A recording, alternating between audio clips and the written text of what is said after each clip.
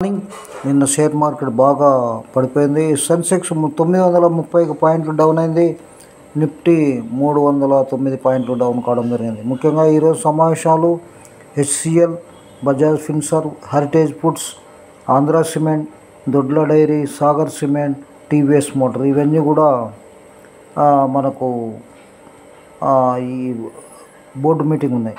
హెందాయి షేర్కు ఏడు పర్సెంట్ నష్టాలు మన నిర్ణయం కరెక్ట్గానే అనిపించింది. ఈ షేర్లో అంత వర్త్ లేదని మనం భావించడం వల్ల అప్లై చేయలేదు. సెవెన్ పర్సెంట్ డౌన్ కావడం జరిగింది. ముఖ్యంగా ఎందుకు ఇంత నష్టంతో పోయింది అనేటువంటి అంశాన్ని మనం ఇంట్రాడేలో కూడా నష్టమైంది. పూణే ప్లాంట్ విస్తరణకు ఆరు వందల కోట్లు.